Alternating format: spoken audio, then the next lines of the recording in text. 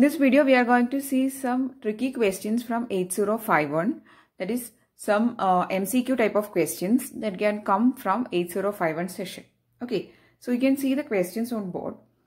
The first question is, the logical instruction that affect the carry flag during its execution is dash A, XRL that is uh, XOR operation, B, ANL that is AND, C, ORL is OR, D, RLC that is rotate left through carry. So from the uh, instruction it is very clear that the correct answer is option D, RLC rotate left through carry, we have to rotate the contents of accumulator register. Okay. So, the other instructions doesn't affect carry, but this instruction will get or will affect the carry flag also. Okay. So, the correct answer for first question is option D. Not uh, only this RRC will also affect the carry flag. Okay. RRC is rotate right through carry we have to rotate or uh, we have to rotate the contents of accumulator register. Okay. Anyway, the correct answer for this first question is option D. Moving on to the next question, which is the second question. So, the second question is the architecture of 8051 consists of A. 4 latches B. 2 timer registers C. 4 on-chip I.O. ports D. All the, all the mentioned. Correct answer is all the mentioned because 8051 has 4 latches, 4 port latches, 2 timer registers, 4 on-chip ports. All these are present in the architecture of 8051. So the correct answer is option D. All these mentioned. Third question.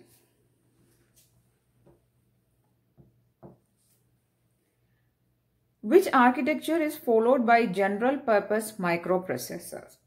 So we have uh, discussed about the memory organization of 8051 as a detailed video. You can watch it in which we have discussed about Harvard and von Neumann architecture also in the beginning. Okay, so here which architecture is followed by general purpose microprocessors? A. Harvard architecture, B. Von Neumann architecture, C. None of the mentioned, D. All the mentioned. The correct answer is general purpose microprocessors generally follow von Neumann architecture.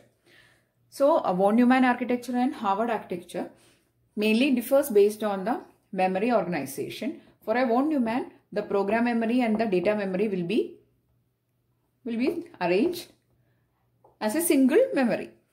This is for von Neumann.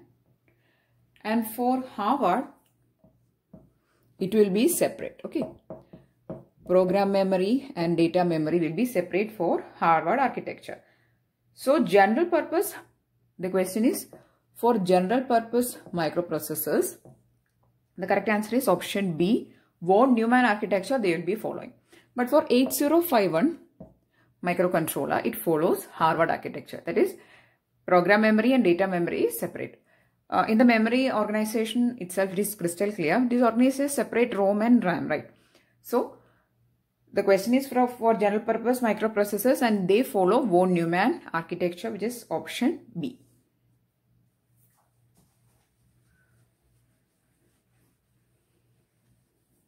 The fourth question,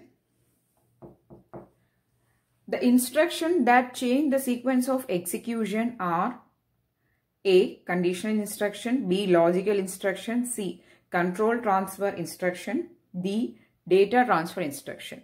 So the control transfer instructions actually control the sequence of execution. Okay. Correct answer is option C. Control transfer instructions transfer the control of execution or change the sequence of execution conditionally or unconditionally. So they actually transfer or change the sequence of execution. Correct answer is option C. Control transfer instructions. Next question. Fifth question. The register that may be used as an operand register is dash. A. Accumulator. B. B register. C. Data register. D. Accumulator and B register. We know that both accumulator and B registers can be used as used to store operands, right? We uh, take A and we take B for storing of operands and its movements.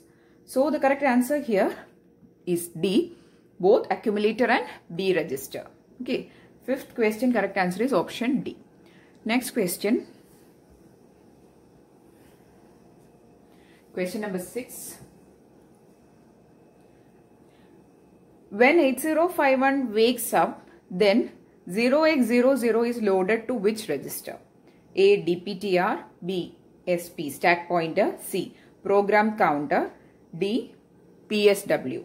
So, uh, from the uh, mentioned options, DPTR is not uh, where 0x00 is loaded. Actually, the correct answer is option C because program counter is the most relevant register for actually uh, operation of a 8051 because it points to the next instruction to be executed. So it has to be initialized during the 8051 is waking up. So every time 8051 wakes up 0x00 or the program counter is initialized with 0x00. This is very important question. Okay. So program counter is initialized with 0x00 every time 8051 wakes up. And then it will uh, point to every next instruction to be executed. Likewise, it will be arranging the order of execution. Okay. So correct answer here is option C. Next question is question number 7. Which of the following is not an instruction of 8051 instruction instruction set or instructions? A. Arithmetical instruction. Yes, there are a lot of arithmetical instructions. B. Boolean. C. Logical. D. None. Correct answer is none because from the mentioned all are various types of 8051 instruction. There is arithmetical instruction, data transfer, boolean, logical instructions. So these are all types of 8051 instructions itself. Okay. Correct answer is option D, none. Eighth question.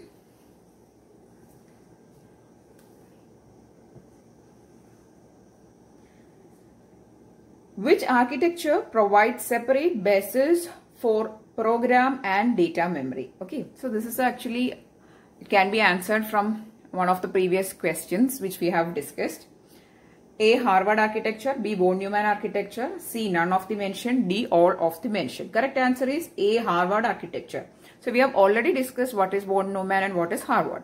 So in Harvard architecture, we know that there is separate program memory and data memory and it has separate best for program memory and data memory. So that architecture which is Harvard architecture provides separate bus for program and data memory so that at a time the processor can access both program memory and data memory since they are passing through two separate buses. No congestion will be there. So these are actually advantages of having Harvard architecture. Anyway, the correct answer for 8th question is option A, Harvard architecture. Ninth question.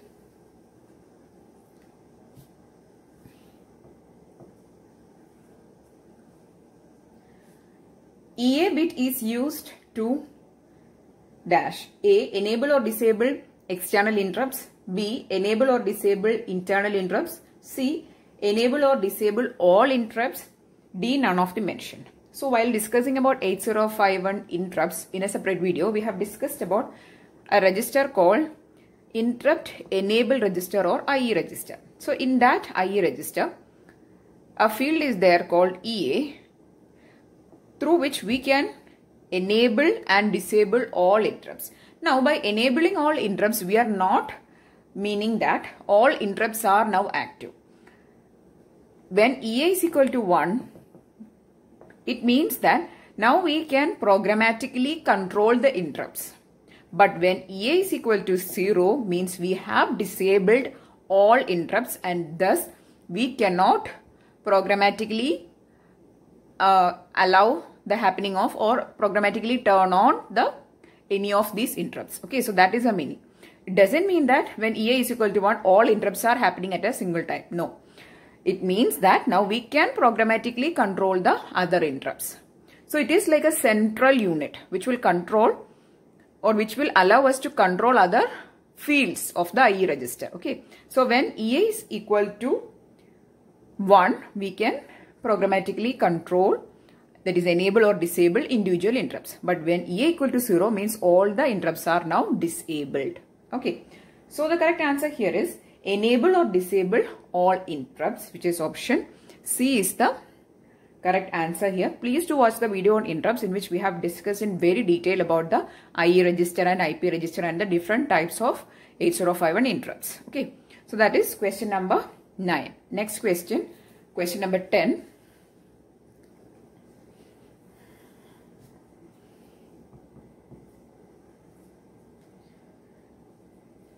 The registers that contain the status information is A. Control register, B. Instruction register, C. Program status word, D. All the mentioned.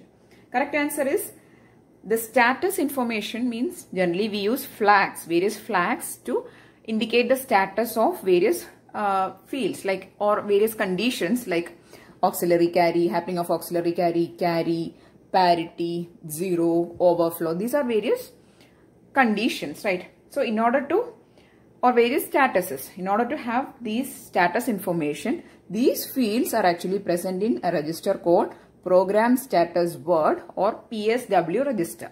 So this register contains all the status information. Okay, correct answer is option C. Next question. Question number 11.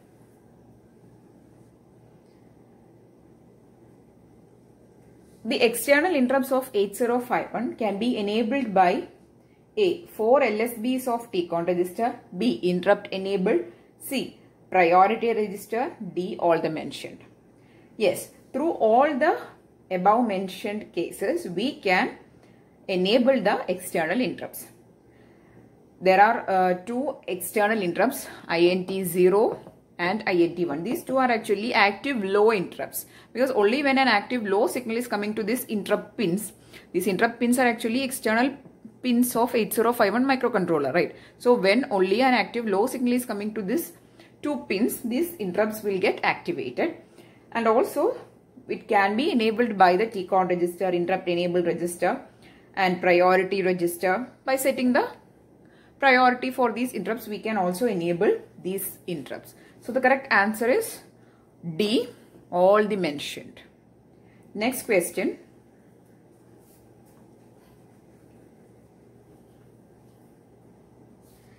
Which is the 12th question. The register that provide control and status information about serial port is dash. AIP. IP is interrupt priority register. Doesn't has to do anything with actually serial port. B. IE is interrupt enable register. C. TS con. I don't think there is such, uh, such a register existing. Then D. PCON and SCON register. The correct answer is PCON register, power control and serial communication control register are the two registers used for controlling the serial port or serial port communication. Correct answer is option D. Next question is question number 13.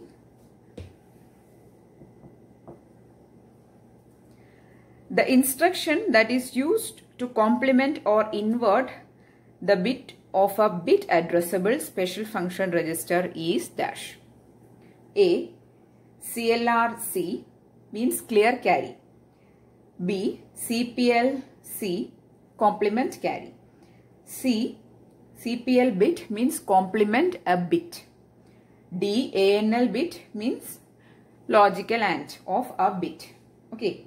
So here the question is the instruction that is used to complement or invert the bit of a bit addressable special function register.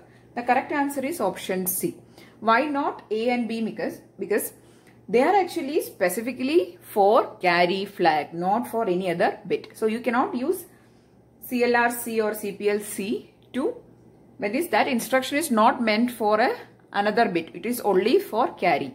That's why CP, CPLC and CLRC.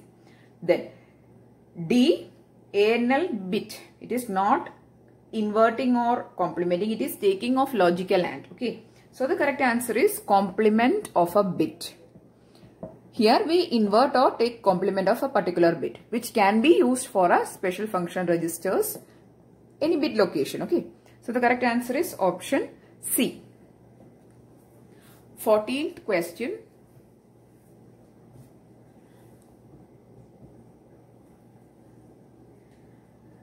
is regarding a stack memory.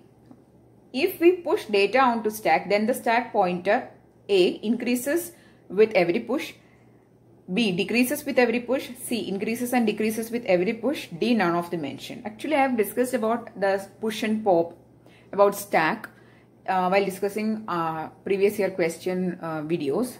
Okay, so just know that when there is a memory called stack memory which we use for storing of uh, information or uh, data or program anything in a temporary manner. So actually this stack memory we use generally while coming off interrupts. Consider the microcontroller is executing a main memory or main program. Not main memory, a main program it is executing. At that time an interrupt is coming. So it will stop at whatever point it is processing and it will store the remaining portion to be processed onto the or the uh, it, it won't store the remaining data it store this next instructions address to this stack memory okay or to the stack. So the stack is addressed with the help of a pointer called stack pointer. So when this data has to be pushed or has to be stored to the stack the stack pointer will increment by 1 or it will increase by 1 okay the stack pointer is increasing during push instruction. Okay so this is very important. Now pop means taking out of data from the stack or retrieving the data from the stack is called pop this is called push and retrieving or taking back the data from the stack is called pop now when pop instruction or popping is happening or we retrieve the data from the stack the stack pointer will decrement by 1 or it will decrement. Okay. So here the question is, if we push data onto stack, what will happen? It will increase with every push. It will increase. That is when we want to store or when we want to pile data one above the other, the pointer has to increase, right? So the correct answer is option A, which is incrementing or increase. Next question, the last question for this video is question number 15. Okay, so the question number 15 is the registers, the registers that are not accessible by the user. A accumulator and B register. No, they are accessible by the user. We can use it programmatically, right? So it is accessible. B, IP and IE, it is also accessible to the user. C, instruction registers, they are accessible to the users. D, TMP1 and TMP2. So these TMP1 and TMP2 are the temporary registers. The arithmetic operations are performed over the operands held by the temporary registers. Okay. And these two temporary registers are TMP1 and TMP2. And users cannot access the temporary registers. So the correct answer here is option D, TMP1 and TMP2. This cannot be that is you cannot include this TMP1 and TMP2 in your program. You cannot access it. The users cannot access it. So the correct answer for question number 15 is option D. So these are the 15 questions which I have included in this video. So while studying 8051, the most important thing is answering of MCQ questions because you know that uh, if you're uh, preparing for any competitive examination, the theory and everything is not going to come. You have to be familiar with these type of questions. So that's why I included these questions from various sessions. I think I have covered almost all important areas from 8051. Uh, so, various questions I've included. And if you want me to do more videos like this on MCQ of 8051, please do mention in the comment section. I'll be doing it. Okay. And also, if you found this video useful, please do give it a thumbs up and also share this video with all your friends. And if you want more videos, please do subscribe to the channel. Thanks for watching and keep on watching.